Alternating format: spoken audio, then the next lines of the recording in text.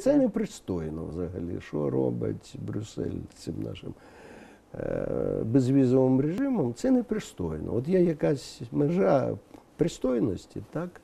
Я завжди не надто е, добре ставився. Я просто бував декілька разів з групами нашими неурядовими в Брюсселі, і ви знаєте, сам дух ставлення до України, ну це було достатньо давно.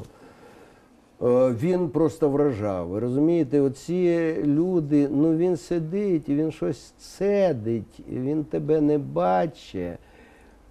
І він думає, як він поїде на вікенд, які він там буде шпикачки робити, або сардельки на грилі. Ви розумієте? От, от я бачу сутність цієї людини, ця людина, можливо, це і правильно.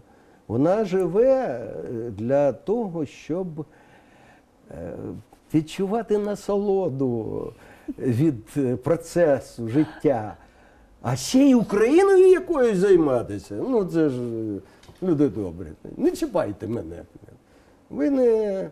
Я сам знаю, чим мені займатися. Оце приблизно такий я намалював е, портрет абсолютно типового брюссельського чиновника, який відповідає за український напрям. Ну, можливо, зараз вони інші, я не знаю, це було декілька років тому.